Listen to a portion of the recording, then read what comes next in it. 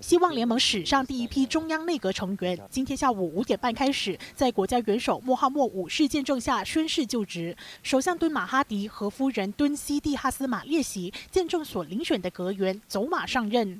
我国第一名女副首相兼妇女部长拿督斯里旺阿兹莎率先宣誓效忠和保护官方机密。紧接着，丹斯里穆尤丁、穆罕默沙布和林冠英一同宣誓，分别掌管内政、国防和财政三大要职。当中官司缠身的林冠英没有出席原定今天在槟城高庭续审的低价买房案，而是在首都出席部长宣誓仪式。另外，教育部长马志礼、乡村及区域发展部长丽娜、经济部长拿督斯里阿兹米、房屋及地方政府部长祖莱达、交通部长陆兆福、通讯及多媒体部长戈宾兴、人力资源部长古拉、农业及农机工业部长沙拉胡丁阿玉以及卫生部长祖基菲里阿莫也分批宣誓就职。随着宣誓仪式在傍晚六点十五分圆满落幕，一众新界部长将从明天开始履行职务。